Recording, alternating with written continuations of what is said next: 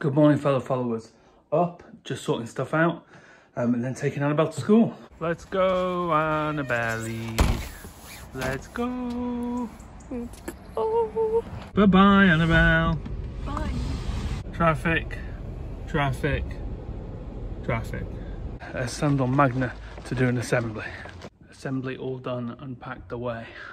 So I'm at St Swithin's. Um, I've spent the morning um, with Kathy um, and then I had a good meeting with Chris. Um, then I've been doing more work for Every Good Work, so I've um, taken an, another look at the person spec and job description after Jude's feedback, so hopefully we're getting somewhere with that. Um, I've chased up some speakers for Deanery Synod. Um, I've started to put the claim form together for Every Good Work, so I'm going to go see Bex at um, St Catherine's shortly, so I can hopefully nail all that down. Been in contact with Nick and replied to a couple of emails. I'm hoping that this afternoon um, I can write a sermon for Sunday. I'm here at St Catherine's to go speak to Bex about um, finance and what have you so I can get this claim form done. But it is really, really, really wet. and I'm in the car park. Oh well, gonna get wet. Been in, spoken to lovely Bex, who's given me all the figures, she's wonderful. Um, updated the memorial book, home for lunch.